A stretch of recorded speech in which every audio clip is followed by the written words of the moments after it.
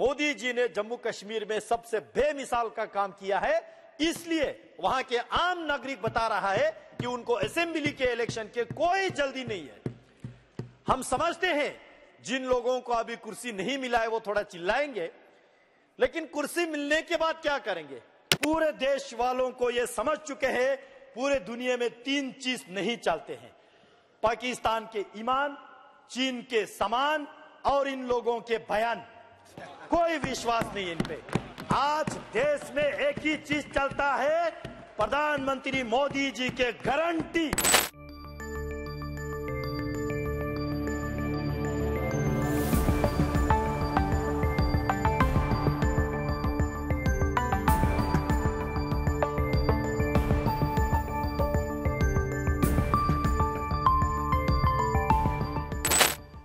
मैं अभी सुन रहा था इस बिल के चर्चा पे। बहुत लोगों ने यह पूछा कि वहाँ पे इलेक्शन क्यों नहीं हो रहा है? और शायद असेंबली इलेक्शन के बारे में पूछ रहे होंगे, क्योंकि ऐसा तो नहीं है कि बिल्कुल ही वहाँ इलेक्शन ही नहीं हुआ।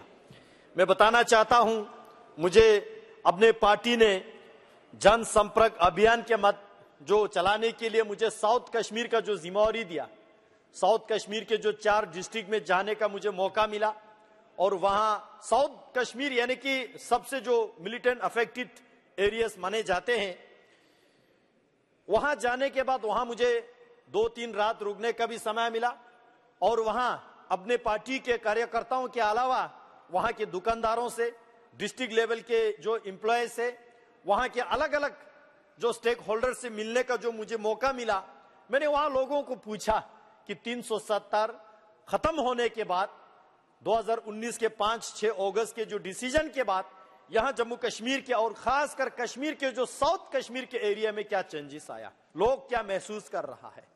और मैंने ये भी पूछा कि यहाँ पे असेंबली इलेक्शन जल्दी होना चाहिए या देर से होना चाहिए?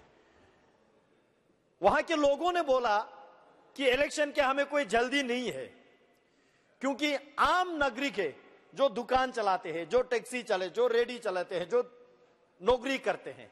जो आम लोग चाहते हैं अभी के शासन जो है लोगों को जितने भी जो सरकारी स्कीम्स हो जो डिलीवरी सिस्टम हो जो ट्रांसपेरेंसी हो जो खत, करप्शन खत्म करने का काम किया है वो पाँच छह अगस्त के बाद मोदी जी ने जम्मू कश्मीर में सबसे बेमिसाल का काम किया है। इसलिए वहाँ के आम नागरिक बता रहा है कि उनको असेंबली के इलेक्शन के कोई जल्दी नहीं है। हम समझते हैं जिन लोगों को अभी कुर्सी नहीं मिला है, वो थोड़ा चिल्लाएँगे। लेकिन कुर्सी मिलने के बाद क्या करेंगे? लेकिन आज प्रधानमंत्री मोदी जी ने 370 दरा हटने के बाद वहाँ जम्मू कश्मीर में जो मैकेनिज्म चाहे वो इन्वेस्टमेंट के बाद यहाँ पे हुआ इंप्लॉयमेंट का हुआ पीस मेंटेन करने का हो सिक्योरिटी के दृष्टि से हो टूरिज़्म के दृष्टि से हो, हर सेक्टर में जो है, एक बेमिसाल का काम प्रधानमंत्री जी ने किया। ये केवल मैं नहीं बोल रहा हूँ, साउथ कश्मीर के रहने वाले जो है, हमें चिल्ला चिल्ला के बताते हैं। मैं इस बात के हैरान हूँ, जब साउथ कश्मीर गया, जाने से पहले पहले एक डर होता था कि कश्मीर जाने से पहले, और खासकर साउथ कश्मीर जैसे इलाके जाने से पहले, पता नहीं मन में क्या एक वहम सा छा जाते हैं कि ज़िंदा लौटे कि नहीं लौटे। लेकिन उस दिन मैंने वहाँ देखा, आज ये बयान वहाँ के साउथ कश्मीर वाले भी सुन रहे होंगे और वो लोग भी इस बात का इंडोर्स करेंगे। पहले जिस जगह पे गोला बारूद बंदूक के जो शूटिंग चलते थे, आज वहाँ पे मूवी फ़िल्म शूटिंग चल रहा है। पहले जो वहाँ महीना महीना साल साल कर्फ्यू चलते थे, दफ़ा एक लगा के बंद रखते थे, आज वही दुकानदार बोल रहा है कि पिछले एक डेढ़ साल से उनके दुकान एक दिन, एक रात भी बंद करना नहीं पड़े। बल्कि रात के 11 बजे तक 11 बजे तक जो है वहाँ की दुकानें खुले रहते हैं। जो school, educational institution, professional colleges महीना महीना बंद रहते थे, आज वहाँ के स्टूडेंट्स बता रहे हैं कि वहाँ के स्कूल एक दिन भी डिस्टर्ब नहीं होता है और कश्मीर के जो छोटे छोटे बच्चों को तालीम हासिल करते हैं, कोई तालीम से मखरूम नहीं रखते हैं। इसका शेर यह प्रधानमंत्री मोदी जी को जाता है। बताना चाहता हूँ इलेक्शन के बारे में लोग कहते हैं कि इलेक्शन इलेक्शन। यहाँ हमारे जम्मू कश्मीर के जो पूर्व मुख्यमंत्री फारूक साहब बैठे हैं बड़े आधार के साथ रिस्पेक्ट के साथ सम्मान के साथ मैं जानना चाहता हूँ। मैं पूछना चाहता हूँ आपकी ज़िंदगी में कितने इलेक्शन आपने देखे? और कोई ऐसा इलेक्शन आप बताइए सदन में जो जो, जो कि बिना बंदूक के कोई इलेक्शन हो जिना फायरिंग की हो जिना दफ़ा, बिना दफ़ा एक के कहीं पे कोई इलेक्शन हुआ है क्या? मैं बता, मैं बताना चाहता हूँ, जम्मू कश्मीर में इलेक्शन से ज़्यादा पीस लोगों के सिक्योरिटी की ज़रूरत है।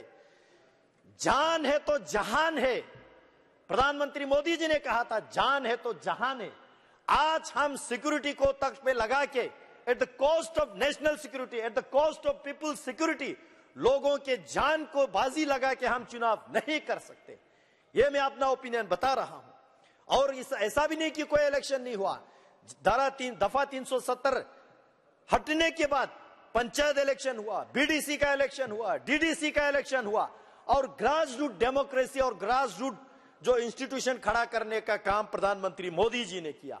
या मैं अंत में बताना चाहता हूँ, अभी देश में पूरे देश वालों को यह समझ चुके हैं, पूरे दुनिया में तीन चीज़ नहीं चलते हैं। पाकिस्तान के ईमान, चीन के समान और इन लोगों के बयान। कोई विश्वास नहीं इन पे। आज देश में एक ही चीज़ चलता है, प्रधानमंत्री मोदी जी के गारंटी।